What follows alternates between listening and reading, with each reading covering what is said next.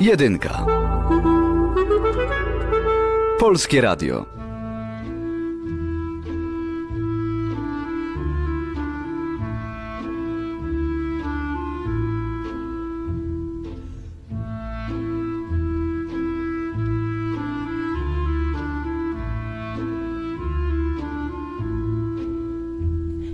Anna Lisiecka, dobry wieczór. Właśnie ukazała się książka Wilm Hosenfeld Staram się ratować każdego. Życie niemieckiego oficera w listach i dziennikach. W przykładzie rodziny Tycnerów i pod redakcją naukową Eugeniusza Cezarego Króla i Winfrida Lipschera. Wilhelm Hosenfeld został uwieczniony w filmie Polańskiego jako Niemiec, który pomaga Szpilmanowi przetrwać w ruinach Warszawy. Oto jak o Wilmie Hozenfeldzie opowiadał Władysław Szpilman w wywiadzie udzielonym Annie Skulskiej. To był rok 44, po, od razu po powstaniu. Do mnie strzelali, więc ja uciekłem stamtąd i miałem szczęście, bo zaskoczyłem czwartego piętra, tego dzisiaj nikt nie zrobił na trzecie. Człowiek jak jest zagrożony, to co... Wyzwala w sobie siły niesamowite. Wyzwala tak. No więc zaskoczyłem na dół i uciekłem. No ale uciekłem gdzie? Wille były zbombardowane i tam nic nie było. Ja musiałem się dostać do jakiegoś domu wypalonego, gdzie pewne części były całe. I, I w ten sposób mogą sobie żywność znaleźć, znajdować byle jaką, ale i wodę przede wszystkim, bo bez wody nie można żyć. No i zauważyłem, że jest olbrzymi budynek, następny, na Alei Niepodległości też, w kierunku naszym. Boki są dobre, całe, ale środek wypalony. On stoi do dziś, ten dom jest odbudowany. I ja się od sędziowskiej tam Dostałem. wprowadziłem na ostatnie piętro.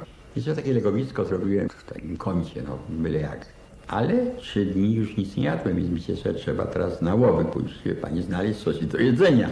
I poszedłem do takiego mieszkania, gdzie kuchnia była niedopalona. I tam była spiżarnia w rogu. I ja, wie pani, leżąc na ziemi, bo tam u góry nic nie mogłem znaleźć, słyszę Hände hoch po niemiecku. Widziałem siebie w kałuży krwi leżącego na ziemi. To już był listopad. A ja jest tak od sierpień, wrzesień. I zupełnie sam w ruinach, tak. Sam. Nie czesałem się, nie, nie goliłem, nie myłem. No wie pani, żyłem jak robinson. Myślę sobie, niech się to skończy już. Ja widziałem siebie w kałuży, ale nie, ja nie miałem sił. To już cztery miesiące, wie pani, tak w samotności. Nie rozmawiałem z człowiekiem w ogóle. Ale widzę takiego przystojnego, mam tu nawet zdjęcie, mam. Zresztą ja mam kontakt z jego rodziną. Widzę no, takiego bardzo przystojnego oficera, który nie wyjął rewolweru wcale. I pierwsze słowa mówi, ja powiem po polsku, on mówi po niemiecku, proszę pana, niech pan się nie boi, ja panu nic nie zrobię. Od razu. Tak, tak, od razu. No więc myślę sobie jakiś człowiek, a bardzo, Zdarzali a, bardzo, a bardzo przystojny był, bardzo. Tak, mógł mieć 55 lat, lat on nie był na froncie, on był kierownikiem stadionu na Myśliwieckiej. On mówi, proszę pana, co pan tu robi? No, ja mówię, no co ja tu robię? Niby nie będę mówił, że czekam na tramwaj. co ja robię? E, No wie pan, ja tutaj mieszkałem. No tak, ale pan tu nie wolno robić. Ja mówię, no ale ja nie mogę stąd wyjść. A, a kim pan jest zawód? Miałem taką brodę. Takie włosy rozczapieżone, przy nie czesałem się, wie pani. A wtedy miałem jeszcze, jeszcze jak pani pokaże zdjęcie powojenne, to miałem czuprynę czarną. Ja mówię, proszę pana, pan chyba jest Austriakiem. Mówi, nie, niestety jestem Niemcem. I co on mi nagadał, wie pani? Że to jest hańba dla narodu, po wsze czasy. To jest to straszne, ja wszystko, a pan wie, tak, wszystko wie. On był kapitanem e, Wehrmachtu, a pan jest z zawodu. Ja mówię, no jestem kompozytorem, pianistą, to niech pan, niech pan zagra, tam był fortepian. Ale pan wie, ok- okna otwarte, ja już nie grałem trzy lata. Spęczniałe klawisze, no jak, ja chciałem zagrać parafrazę walców Straussa. Ale wie pani, te palce nie... Więc zagrałem mu Nocturne Chopina. Nagrałem mu Nocturne Chopina i on mówi, no co z panem zrobić? Gdzie pan się tutaj ukrywa? No już musiałem nabrać zaufania do tego człowieka. Zaprawił mu na strych i mówię, wie pan, tu na strychu ja mam tak. A tam była taka antresola i drabina, przy pomocy której można się było dostać na dach. Ale nie ma jakie to niebezpieczne. Że w tych bocznych skrzydłach oni ewakuowali się, ci Niemcy, a jak się uspokoiła ta ofensywa radziecka, bo oni zatrzymali ze względu na powstanie, to oni się z powrotem wprowadzili. Oni się wprowadzili od niepodległości, a ja od sędziowskiej, bo tam byli, no tak, razem. Także No ja, tak. ja, wie pani, w jaskini lwa. Czy Państwo to zdaje sprawę z tego? Dwa miesiące z nim byłem razem. On, on wszedł ze mną na ten strych. Wie pan co, to nie jest dobre schowanie. Pan, niech pan wciągnie drabinę na górę i zobaczymy, czy ją będzie widać. Ja mówię, nie widać tej drabiny, to jest o wiele lepiej, jak pan tam będzie. I on, on mi przyniósł później chleb. On był u mnie dwa, trzy razy.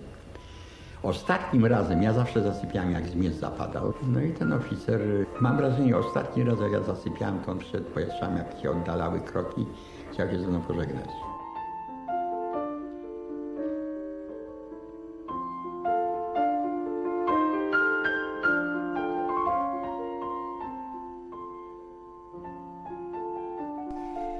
Po promocji książki Staram się ratować każdego, zredagowanej na podstawie dzienników i listów znanego nam z biografii Szpilmana, a teraz też z filmu polańskiego Wilma Hosenfelda, gościłam jego młodszą córkę i młodszego syna. Rozmowę tłumaczył Winfried Lipscher.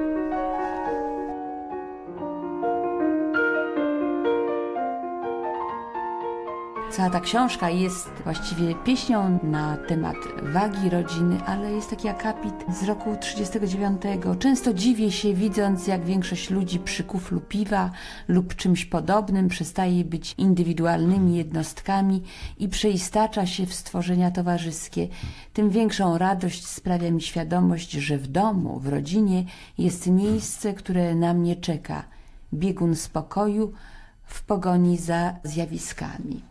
Ja, das war für unseren Vater, aber für unsere Mutter I genauso. dla ojca i dla matki rodzina była spełnieniem Beide, ich życia i ähm, my, dzieci, tego właśnie doświadczyliśmy.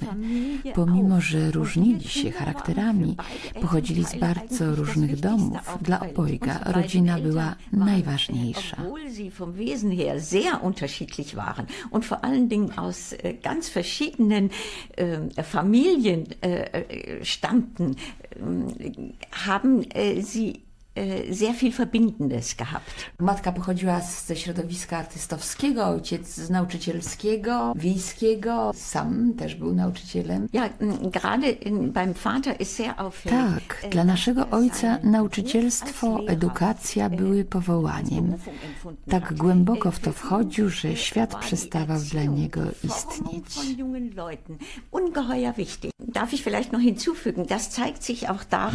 Kiedy w ähm, czasie wojny w also Warszawie był kierownikiem szkoły sportowej przy stadionie Legia, to też nie chodziło mu tylko o sport, a o głębszy przekaz ogólnych wiadomości zaadresowany do młodych ludzi.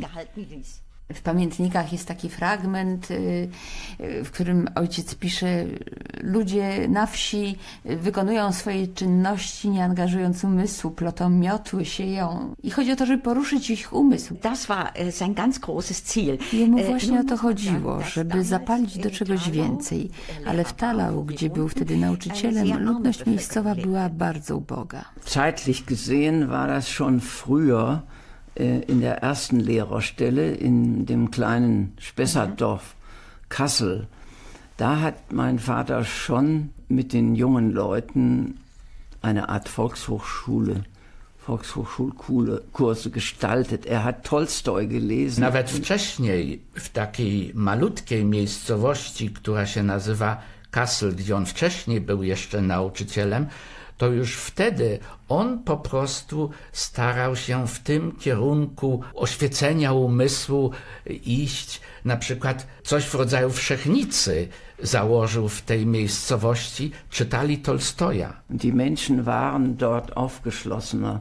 Das war für meine Mutter war das ein äh, war das sehr günstig, weil sie geistigen Kontakt Ludzie w tej miejscowości byli bardzo otwarci na świat. Dla matki na przykład to było bardzo ważne. Das war in, in dem Dorf Thalau nicht der Fall. W Talau to już było troszeczkę inaczej. konserwatywne bardziej Tak. społeczeństwo. Ojciec miał taki nowoczesny stosunek do wychowania. Pisał raczej nagradzać niż karać. Wichtiges Ojciec w ogóle nie chciał karać dzieci. Wynikało to z pedagogiki wypracowanej na początku wieku. To było coś nowego. On się tym zajmował i uważał, że nie należy karać dzieci. Hat unser Vater äh, dieses äh, Prinzip des Strafens in der Schule völlig abgelehnt. Czyli mieli Państwo świetny kontakt z ojcem, pomimo iż w 1939 roku Pani miała zaledwie 7 lat, pan ein- zaledwie 10. Ja, wir hatten immer ein sehr gutes Verhältnis. Stosunek był tak ciepły, że er niekiedy nocowałam u niego w łóżku, przytulał mnie do siebie, a jak chrapał i ja się budziłam, to uspokajał mnie i mówił, nie bój się, nie ma tu żadnego wilka. Jak miałam trzy lata, to zabierał mnie z sobą do swojej klasy i było mi wolno siedzieć wśród większych uczennic i uczestniczyć w lekcji. In der, in der Schulklasse sitzen bei den großen Schulmädchen und durfte dem Unterricht folgen. Ja, Ich bin zwei Jahre ähm, vom 10. bis zum 12. Lebensjahr bei ihm im Schulunterricht gewesen. Also A ja od 10 do 12 roku życia byłem wręcz jego uczniem w klasie, bis zum Anfang des Krieges. Aż do początku wojny. Najlepszy kontakt chyba miał ojciec z Helmutem, najstarszym bratem. 1921. On się urodził w natürlich. 1921 roku. Tak, oczywiście, że jako najstarszy miał bardzo intensywny kontakt z ojcem. I już wówczas prowadzili rozmowy na temat III Rzeszy. Helmut studiował w czasie wojny, potem został powołany do wojska.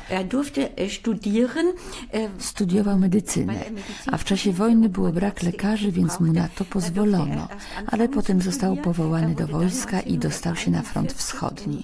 Wrócił i znów kontynuował swoje studia medyczne, po czym ponownie został rzucony na front wschodni. Był pod Stalingradem w czasie bitwy o Stalingrad, skąd wydostał się samolotem Czerwonego Krzyża jako sanitariusz. Mój ojciec zawsze martwił się o Helmuta i był bardzo szczęśliwy, kiedy w 1942 Helmut odwiedził go w Warszawie. Wiem, że ojciec na początku bardzo wierzył Hitlerowi.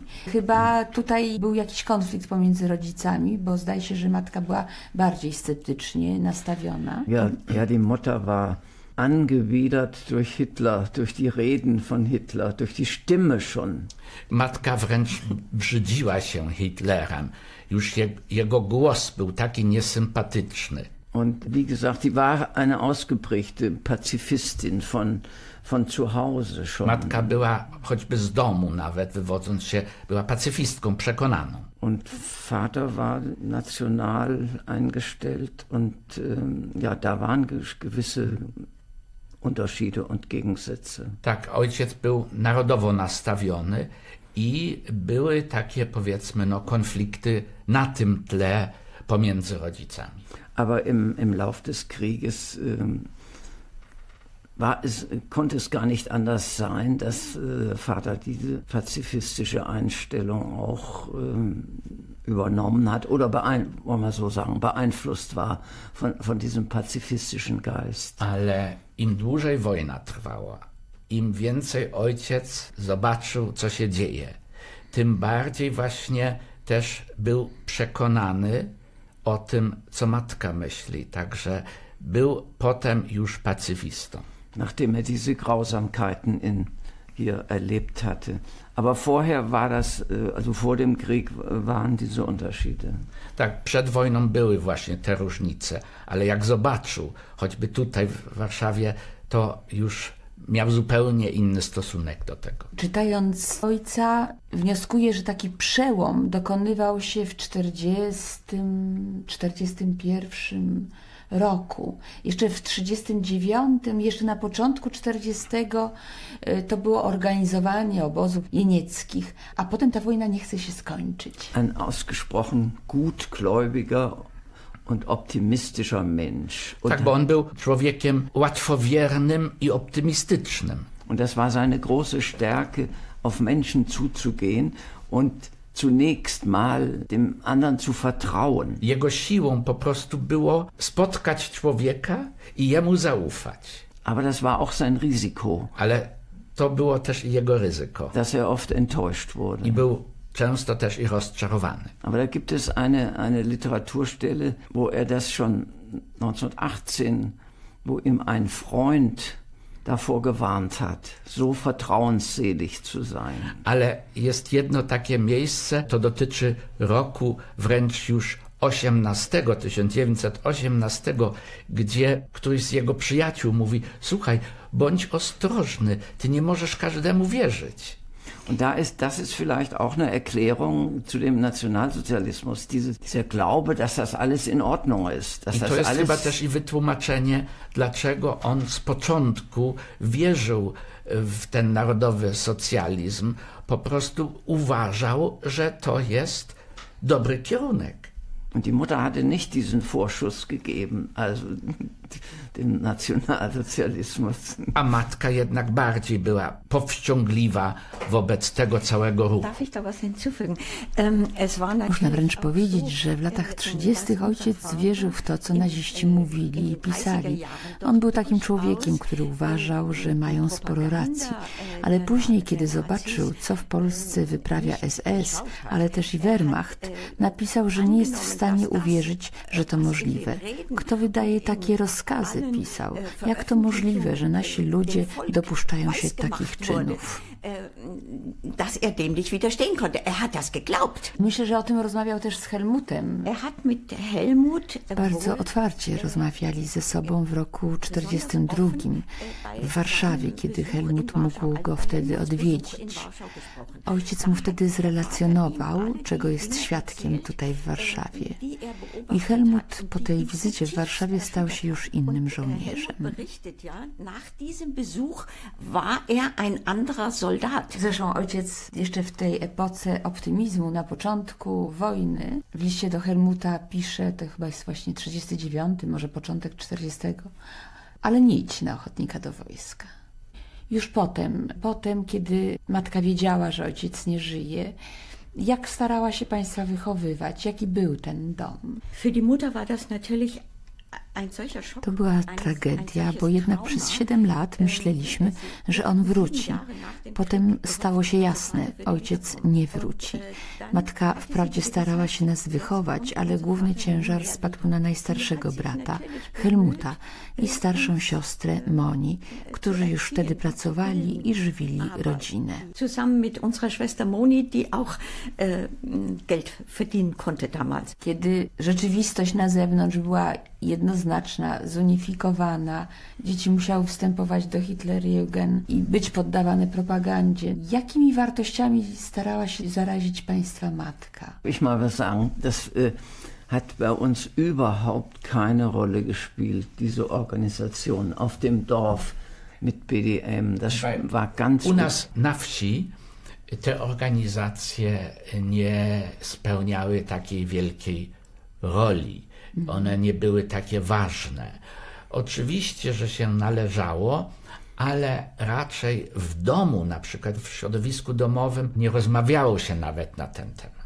Also das Familienleben war ganz primär. Wir sind zusammen gewandert, alle Kinder mit den Eltern. Życie rodzinne to było najważniejsze. Na przykład odbywaliśmy razem z całą rodziną różne wędrówki piesze. To dla nas było ważne. Waren sehr viel mit den Eltern zusammen, weil der Vater Lehrer war und nachmittags hat er im Garten gearbeitet mit uns und hat, äh, ja, er war zur Verfügung in der Większość Familie. czasu spędzaliśmy razem z rodzicami. Ojciec po południu pracował w ogródku, my razem z nim. I, I wszędzie, gdzie ojciec był, tam było i jego wychowanie. Od tego 42 roku widać taki gorliwy ojca powrót do religii. Ja, ich meine, das ist, das ist eine ganz primäre Orientierung vom Elternhaus.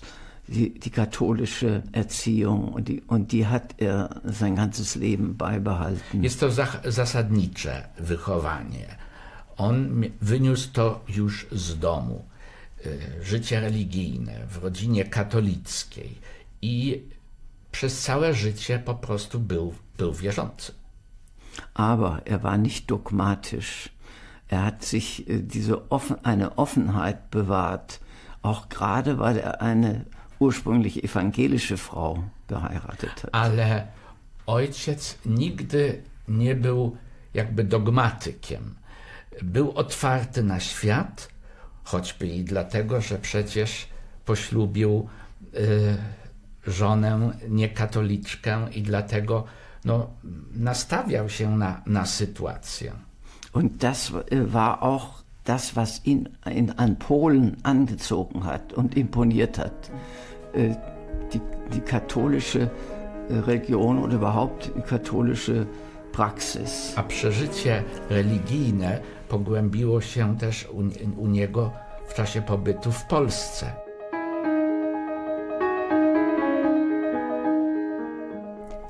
Wilm Hosenfeld i jego rodzina, ładni, wrażliwi ludzie wciągnięci w okropności wojny. Kiedy czytałam dzienniki i listy tego niemieckiego oficera Wehrmachtu, który uratował nie tylko Szpilmana, myślałam cały czas o rodzinie mojej matki i jej ojcu, który podobnie jak Wilm Hosenfeld brał udział w II wojnie światowej, wstąpił do amerykańskiego wojska, Potem już w wyzwolonej Polsce był propagatorem skautingu i oświaty ludowej. Dużo czytał, dużo wiedział. Był jak Wilm Hosenfeld religijny, a zarazem otwarty. Należał do stronnictwa narodowego, potem narodowej demokracji. Nie akceptował jednak ruchu ONR Falanga, bo wiek XX jest wiekiem ideologii i przynależności ale też dzięki oświacie wiekiem rozumienia mechanizmów świata. Wojnę spędził mój dziad w obozie jenieckim. Jego starszy syn zabrany został na roboty. Moja matka od 14 roku życia pracowała w fabryce. Ta wojna, wojna totalna, była okropna i zdruzgotała wszystko. Dzienniki i listy wrażliwego człowieka, nauczyciela są źródłem do lepszego poznania historii pierwszej połowy XX wieku. Profesor Cezary Król i Winfred Lipscher. Na przykładzie biografii Wima Hosenfelda widać, jak pewne szlachetne idee potrafią być zdeprawowane i zniekształcone, a potem w ostatecznym rozrachunku prowadzić również do zbrodni, bo narodowy socjalizm też zawierał w swojej początkowej fazie szlachetne hasła obrony godności narodu, przywrócenia mm, roli Niemiec po I wojnie światowej, po czym te hasła zostały włączone do imperialistycznego w gruncie rzeczy programu, który w pewnym momencie ma również wątek y, ludobójczy, a więc jeśli mówimy o tych szlachetnych ideach, to musimy też przyglądać się, co się z tymi szlachetnymi ideami w praktyce dzieje i książka Hosenfelda to świetnie pokazuje, bo pokazuje, jak można od szlachetnej intencji przejść do zbrodniczej praktyki i jak się człowiek taki jak on, który wsparł się mocno na fundamentach i katolicyzmu i zdrowego rozumienia narodowości i godności człowieka, jak on się w takiej sytuacji powinien zachować. Hosenfeld zachował się w sposób e, wzorowy, ponieważ stawił temu opór na skalę swoich możliwości. A jednocześnie ta książka pokazuje jego ewolucję od sporego entuzjazmu i wielkich nadziei, które on wiązał z ruchem narodowo-socjalistycznym, po stopniowo rosnący sceptycyzm, aż do swoistego prywatnego oporu na swoją skalę. No przypomnijmy, to jest oficer w służbie czynnej w czasie wojny. Jego pole manewru było stosunkowo niewielkie. To, co on zrobił, w każdej chwili groziło e, ryzykiem aresztowania i postawienia przed sądem wojennym. Może gdyby było więcej takich Rosenfeldów, to może i byłaby opozycja przeciwko Hitlerowi, może by nawet nie doszło do takich wielkich zbrodni, ale niestety takich Rosenfeldów było za mało. Mnie interesuje przede wszystkim w kontekście Rosenfelda i ten ruch narodowy, o którym pani mówi, jego postawa jako katolik, jako chrześcijanin, bo Kościół katolicki też przecież należał do tej całości. To Kościół nie był wyodrębnioną wyspą jakąś. Kościół też się włączał w ten nurt narodowy. Więc ważną sprawą dla Hosenfelda, moim zdaniem, była kwestia wiary i narodowości. Opierając się na swojej wierze katolickiej, i jednak potrafił. I są inne jeszcze przypadki, na szczęście są takie inne przypadki. Na przykład w Gnieźnie w czasie wojny żołnierz niemiecki uratował relikwię świętego Wojciecha. Zawiózł w inne miejsce i zakopali w sakrystii. Na szczęście tacy byli. Ale gdzie naród niemiecki, wykształcony naród niemiecki, ja to mówię jako Niemiec, tak? wszyscy wierzyli w tego idiotę No, trzeba tutaj dodać wpływ, jaki wywarła technologia, która wtedy się rozwinęła i przybrała postać totalnej propagandy. Było to coś nowego, takie totalne uderzenie w świadomość i odbiór człowieka. Ciekawe byłoby przeczytanie takie porównawcze dzienników Hosenfelda i dzienników Goebbelsa. No, pani nawiązuje do pewnej myśli, której mnie trapi, mianowicie tłumaczę rzeczywiście dzienniki Józefa Goebbelsa. Tu trzeba dodać jedną rzecz. Józef Goebbels napisał około 70 tysięcy kart wspomnieniowych. One zostały w Niemczech wydane w kilkudziesięciu tomach. Teraz przyszła pora na polskie wydanie, oczywiście zmniejszone do 600 stron. Ja czytam te dzienniki i mimowoli nawet porównuję z tym, co zostało zapisane w dziennikach Hosenfelda. I nazywam to krótko. O ile ewolucja poglądów Goebbelsa prowadzi do odczłowieczenia się, o tyle poglądy Wima Hosenfelda prowadzą do umacniania się w swoim człowieczeństwie. Zdrowy rozsądek czasami w tamtych czasach, w kontekście tej całej machiny medialnej, funkcjonował jeszcze. Na przykład moja babcia na zawołanie Heil Hitler, bo to w przetłumaczeniu dosłownym to jest uzdrów Hitlera, to moja babcia, jak powiedział ktoś Heil Hitler, mówi, ja nie potrafię uzdrowić Hitlera. Ale dobrze, tak. że na babci nie doniesiono. Ale o, a tak, właśnie, ona wiedziała oczywiście do kogo ona może tak mówić, bo by też mogła nie wiadomo gdzie skończyć.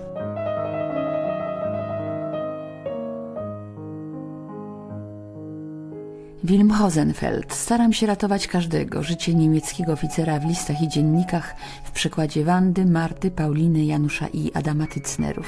Serdecznie Państwu polecam.